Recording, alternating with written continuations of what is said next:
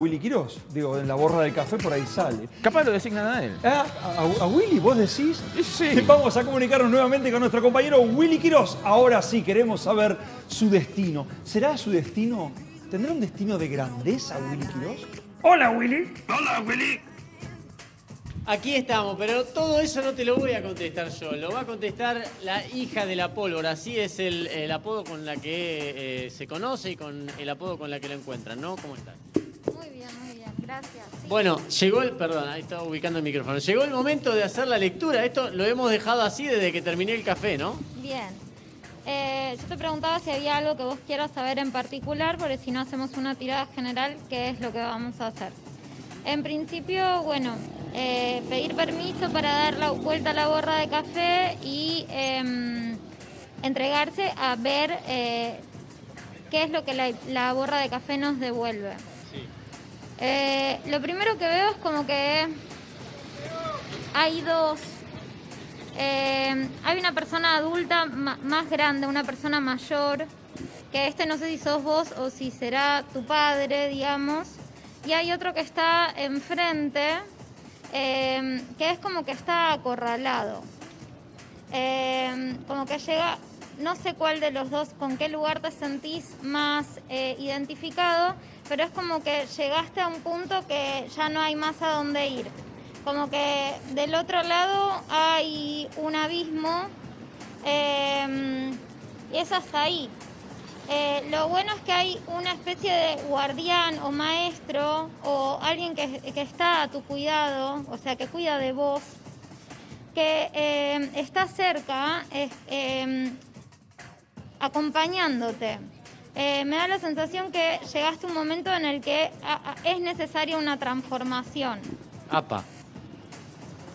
Como que hasta ahí llegaste. Eh, ¿Te resuena algo de todo esto en algún aspecto de tu vida? La verdad, así pensándolo rápidamente, no, pero bueno, tendría que profundizarlo y pensarlo. Es decir, vos decís que tengo una transformación cerca o, o madurando. Ajá, sí. Como que hay, hay un aspecto en el que ya es hasta ahí. Puede ser un llamado de, de Javier Díaz, de hoy nos toca a las 5, no sé. Puede ser, puede ahí. ser, puede ser, claro. Tiene que ver con lo laboral. Para mí tiene que ver con algo interno tuyo. Ah, ah, más de la vida personal. Ajá. Eh, como que en un territorio es como que eh, es hasta ahí, hay que cambiar. Hay que cambiar en algo de la vida personal. Bueno, Y cambie de trabajo, Willy, aproveche. No, pero no dijo lo laboral, dijo lo personal, Campomenosi. Lo- bueno, bueno, puede ser una Bien. transformación, Estoy quizás. viendo. No sé. Eh, ¿Hay algo que vos quieras saber? Eh, no, no, contame vos. Esto a vivo, ¿eh? yo no le dije nada, esto está... Mm. Eh, esa transformación de la que estamos hablando la vas a encontrar. O sea, como que em, vas a encontrar mm, eh, por dónde, digamos. Vas a encontrar algo que es como... Y tiene que ver con, em, con algo material. Eh, con algo pescado, porque es, es un pez lo que hay, con algo... eh, es como si lo que veía del otro lado, como si tuviera que ver con, no sé, te pregunto si es que hay un, cambio de vivienda cerca, o como una mudanza, o como algo en ese aspecto que se termine.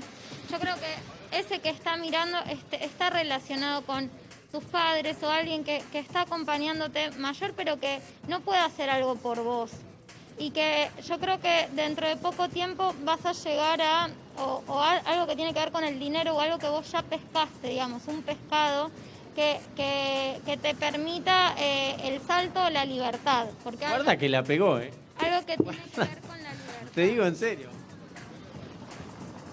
Bueno, eh, vamos a... No, totalmente, ya después te contaré porque no, no voy a desarrollar todo mi vida personal, pero algo de eso hay. Vamos a lo laboral. ¿Qué ves en lo laboral? Eh, sé que, por ejemplo, que yo te puedo adelantar que seguramente sale ahí, es que yo trabajo en un programa que el conductor es un desastre, ¿eh? el resto del equipo está muy bueno, pero ¿se ve ahí que el conductor es medio maleta, no? No, Ah, no se ve. No, se ve que eh, como que en lo que tiene que ver con un corto tiempo se viene una eh, subida laboral.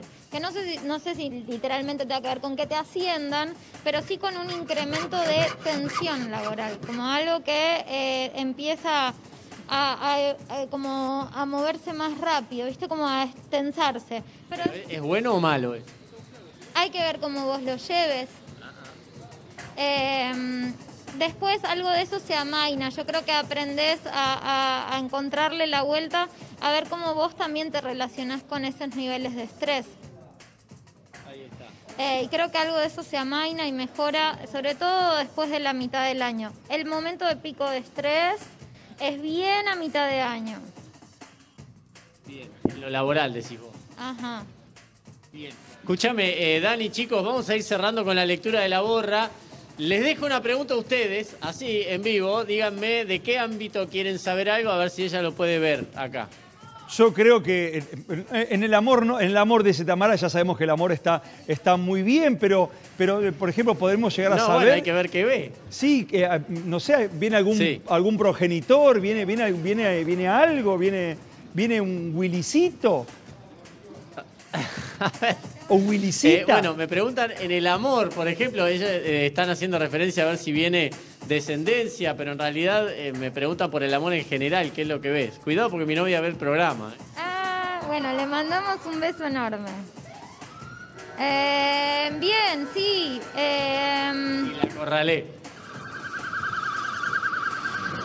eh, veo, en relación a la descendencia, veo eh, la posibilidad, veo ese embarazo. Eh, hay que ver ella si lo quiere o no lo quiere todavía. Como que hay algo que es como que está como, mm, eh, no, se, no está segura, pero eh, sí veo ese embarazo. O sea, ella no está segura y yo sí, decís vos. Eh, Eso lo dice usted. No, no, yo te... Eh, claro, yo pregunto. Yo la veo a ella. La veo a ella y después con el embarazo sí te veo a vos. Ahí está. Menos mal que es mío entonces, ¿no? Sí, eso sí. Es tu, es tu pocillo. Bueno, eh, la verdad un placer, eh, porque además ella me contaba, claro, que ella ve generalidades, no te puede decir, mira, vos vas a hacer esto, porque en realidad ella lo que ve, lo que nos estaba contando es que ve situaciones que hay que ver cómo se terminan de resolver, no adivina el futuro, ve determinadas cosas. Igual sí. O sea, depende. Cada sesión es en sí misma, digamos. Muchas veces vienen con preguntas y yo puedo ver y veo con mucha claridad y después me dicen como que algo de eso sucedió. Eh, depende de la sesión. Bien. Natalia, estamos con poco tiempo, contame rápidamente qué es lo que vendés por ahí, dónde te ubican, un poco para cerrar. Bien, me encuentran a través de mi Instagram o de mi página web que es Hija de la Pólvora en Instagram y en internet www.hijadelapólvora.com.ar. A partir del año pasado ah, yo empecé a dedicarme a la borra del café. Con la cuarentena obligatoria las chicas quisieron estudiar y yo desarrollé una serie de kits en donde viene la cafetera, puede ser tradicional de cobre o industria nacional en aluminio y el kit viene con mi marca de café, que es hija de la pólvora. Yo el año pasado, eh, después de trabajar eh, todo el año, logré comprarme un molinillo y preparar mis blends de café. Todos mis blends de café son en punto de molienda armenio. Entonces son para la lectura de borra de café o para disfrutar del café más rico que hay, que es el armenio. Eh, y bueno, eh, pueden comprar o viene la cafetera y tres blends de café o viene el kit que viene con la porcelana. Ahí está. Hija de la pólvora, entonces eh, la conocen así, la buscan así y obviamente pueden leer la borra del café o adquirir sus productos. Hasta acá llegamos, Campo Menosi, y después hay un montón de cosas que me dijo de usted que se las cuento en privado. A partir Sí. del lunes busque ese trabajo, por favor. No, sí, ¿eh? me acaba de llegar el mail de Recursos Humanos. Me dice que a partir del lunes usted será el conductor del programa y de los flashes. También la volamos a Agustina Bassi, ¿eh? Este, y va a ser Y enre- bueno. enredados con Willy Quirós. y el Y consultorio cuidado del también doctor la Quirós. producción porque me dijeron que voy a elegir yo mi equipo, así que cuidado también. ¿eh? Muchísimas gracias, gracias Willy, hasta mañana y un abrazo ahí a Natalie. Muy bien, señoras y señores, seguimos aquí con Agustina Bassi. Vamos